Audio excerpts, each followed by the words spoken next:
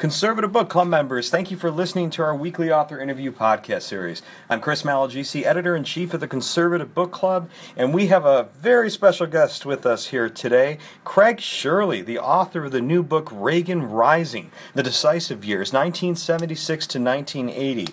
I know probably a lot of you know Craig, but just in case, Craig is the author of three critically acclaimed uh, best selling books on President Reagan, including Rendezvous with Destiny, Reagan's Revolution, and Last Act. He's the founder of Shirley and Banister Public Affairs and has been named the first Reagan Scholar at Eureka College, which was Ronald Reagan's alma mater, where he taught a course titled Reagan 101. His books have been hailed as the definitive works on the Gippers campaigns of 1976 and 1980, and he's also a member of the Board of Governors of the Reagan Ranch, Eureka College Board of Trustees, and has lectured at the Reagan Library. The London Telegraph even called Shirley the best of the Reagan biographers.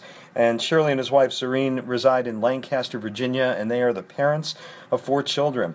Uh, it's the book's already getting a lot of wonderful praise. Um, John Heubusch, who's the executive director at the Ronald Reagan Presidential Foundation, has a great quote about the book that I was just wanted to read quickly. There are few historians, if any, better qualified to write on Ronald Reagan than Craig Shirley. His previous works on the life and times of Ronald Reagan have already established him as the nexus of insight into our 40th president. So, a lot of great praise. Craig, congratulations, welcome, and thank you for joining the Conservative Book Club again. Oh, you bet, Chris. Thank you very, very much. It's a pleasure to be with you. Well, Craig, we're happy to have you, and uh, we you're you just told me you were at the Reagan Ranch the uh, yesterday and today, right? I'm at, I was at the Reagan Library last night uh, in Simi Valley, and then I'm at the Reagan Ranch uh, this afternoon. Uh, and then in a couple days, I'm headed to uh, Eureka College and doing a uh, book signing and lecture there as well. That's wonderful, Craig. Well, Craig, give us a little background about um, the 1976 presidential campaign and how it propelled Reagan to win in 1980.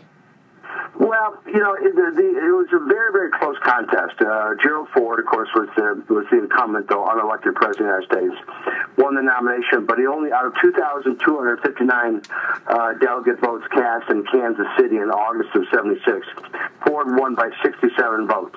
Um, it was uh, it, it was maddeningly, maddeningly close for uh, Reagan. He barely lost, and had there not been hijinks in the New York, Pennsylvania, and Ohio delegations, he may well have won the nomination.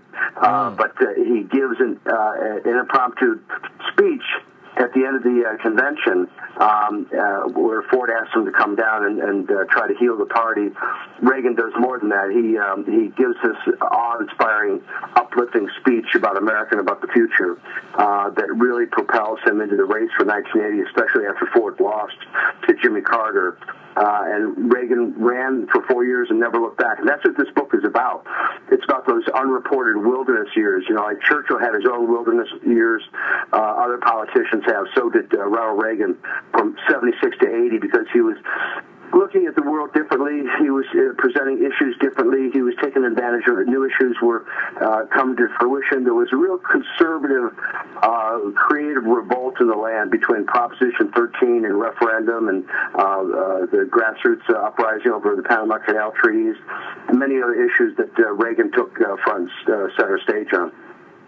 Oh, these and these. I don't want to ruin too much of the book here, but I would be curious to know a little bit more about some of the things that he specifically did to keep himself um, in the limelight. You talk about his speech at CPAC the next year, and yeah, um, talking about a new Republican Party. The new Republican Party, um, and you talked about too about how uh, Reagan, uh, in a big, widely televised debate between Bill Buckley and him about the, the Panama Canal treaties. Can you That's tell right. us just a little bit about that? Sure. Uh, of course, Reagan was leading the charge. Uh, Jimmy Carter was pushing the Panama Canal treaties to, to give over control of the Panama Canal uh, to uh, the to uh, Panama, the country of Panama. And uh, like every school child, Reagan had been raised to believe that the Panama Canal was one of the seven wonders of the world, like all American school children. you know, and he got a lot of traction in the in the '76 campaign, campaigning against the treaties by saying, "We built it, we paid for it, it's ours, and we're going to keep it." Uh, and uh, Ford was intending on giving the Panama Canal uh, over to um, uh, to uh, Panama to turn it over, but then he he stopped when it was becoming politically dangerous for him. So Carter picked up on it, and Reagan was the national leader of the campaign to stop the giveaway of the Panama Canal treaties. Um, he and Bill Buckley went to South Carolina. Of course, Bill was supporting the Panama Canal Treaty, so they had a, a famous debate uh, 90 minute debate on, live on PBS in front of a live audience at the University of South Carolina. And their seconds were, uh, it, was, it was Buckley versus Reagan. Buckley's second was a young columnist by, by the name of George F. Will. Yeah. And Reagan's, Reagan's uh, second was an admiral by the name of uh, John McCain II, uh, of course, John McCain's father. So uh, this was pretty heady stuff and pretty substantial uh, stuff to put front and center. It really impressed the American people on how serious a purpose the conservative movement had become. I, I, tell you, anybody who is a Ronald Reagan or Bill Buckley aficionado, if you've not seen this debate, it's on YouTube. It's one of the most enthralling things to see Reagan and Buckley go head to head and disagree on something. It's just, it's one of those exciting thing, little little treasures. But with, but with great humor too. Yep, oh, very much. And I think Pat yeah. Buchanan was a young Pat Buchanan was in that in that debate too. Um, yeah, he was also a uh, he was also one of Reagan's uh, seconds. Yeah. Well, Craig, what do we learn new in your book than we haven't maybe learned in other Reagan biographies before?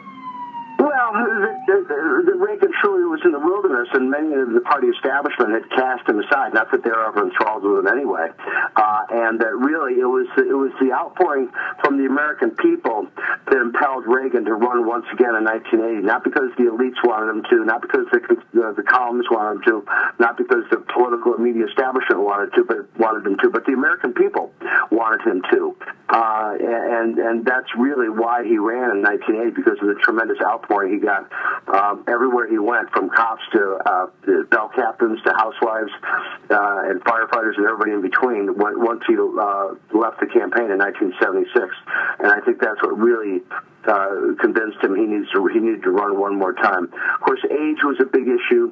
He had to deal with that. His conservatism, the fact that he'd lost twice, he had lots of big obstacles to overcome, um, and and the party was behind some you know, real heavyweight contenders. Everybody from Howard Baker to George Bush to Bob Dole to John Connally. It was a pretty impressive field taken out of Reagan for the nomination. But he changed his presentation, not his basic conservatism, but how he presented it. Uh, and he also uh, campaigned tirelessly. He was almost ubiquitous because he had radio commentaries every day. He had newspaper columns twice a, a week. And he was everywhere from testifying on Capitol Hill to appearing on The Tonight Show with Johnny Carson. Well, Craig, I know I know you're a big conservative movement guy, and I, I, I couldn't help but thinking about when uh, reviewing your book. What I, would love to know what lessons can the conservative movement learn from Reagan's story and from your book, especially in light of the Donald Trump phenomenon that we find ourselves in. The practicality of idealism that's what you would learn from uh, Ronald Reagan is, is that he didn't believe that uh, in, in focus groups and in you know the poll testing and stuff like that. He believed he was right, and if he had a microphone and an audience, he believed that if he, if he had enough time, he could convince that audience of uh, the righteousness of his positions. Um, you know, he really never was interested in the, the polling numbers or things like that. He was more interested in talking to people and and and and, and talking about his ideas, things like that. So um, that he was kind of a throw back in a way because he had a campaign staff, but they never told him, Governor, you can say this, you can't say that. You know, one time uh, John Sears, his erstwhile campaign manager, tried to tell me he couldn't articulate his his position on abortion, and um, and Reagan yelled at him. He said, "Look, it's my position, damn it! So I'm going to say what I want to say." um, uh, so there was no. You, could talk to Reagan, you could uh, plead with Reagan, but you couldn't push Reagan because he'd push right back. Oh, it's amazing, and a lot of lessons to learn, especially in the Donald Trump phenomena. And, and Craig, we were so yeah. happy for you. And Jon Meacham too wrote the foreword. I just want to note that too. He's one of our uh, one of our favorite authors too here at the Conservative Book Club. Craig, congratulations again, and thank you so much for taking the time to join us today. Oh, my pleasure, Chris. Thank you so much for asking me. Well, Conservative Book Club members, make sure to check out Craig Shirley's uh, author page that we have on the site and check out and buy his new book, Reagan Rising The Decisive Years, 1976 to 1980. Craig, thank you again so much. Thank you, Chris.